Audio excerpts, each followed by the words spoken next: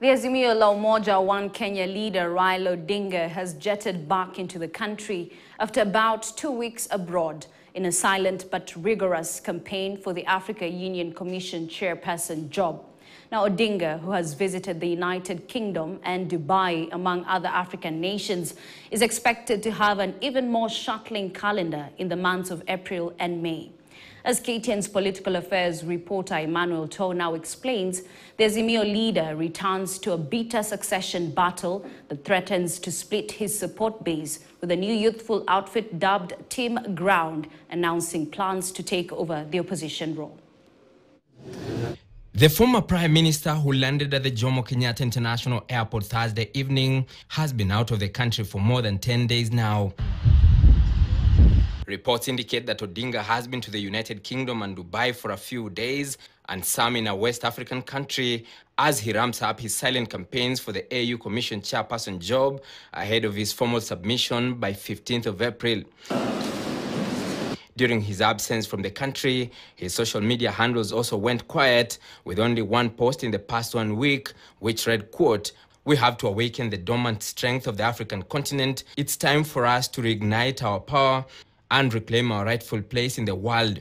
End of quote. Because you know that a candidate to be successful must get two, two thirds uh, physically, first round or second round. If you don't get two thirds, then you're not elected.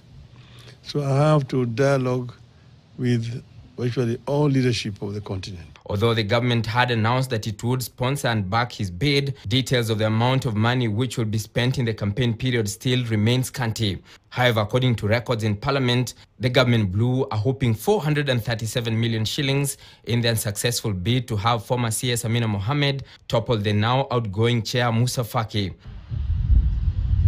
And even after landing, Odinga will just be in the country for a few days before being airborne again for a rigorous campaign period next month and May.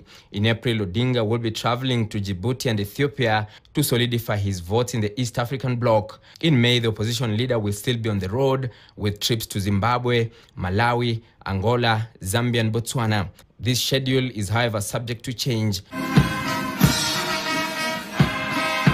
Already, Ethiopia's Prime Minister Abiy Ahmed has been in Kenya and held a meeting with President William Ruto, where the former Prime Minister's bid was discussed. Odinga is also set to visit South Africa after the general elections, slated for 29th of May. President William Ruto is also expected to fly out to Ghana and Zimbabwe as he is set to lead another campaign for Odinga during his state visits. And as he settles back into the country, the former prime minister will also be coming for a firefighting mission as the triple succession battle in his Azimio coalition, ODM party and Nyanza backyard, threatens to split his support base. A new team made up of young generation MPs has already announced plans to take over the opposition role. Not limited to calling for maandamanos, regional maandamanos in every county, in every constituency, in every ward and these mandamanos will better be imagined than experienced. Lakini this is the ground team. Kwa hivyo tumesema ground team lazima tuongee maneno ambayo iko ground. Kwa hivyo ukituona hapa tukiwa pamoja, we are youthful, independent thinkers, we are the voices of the common wananchi. Emmanuel To, KT News, Nairobi. Once again, the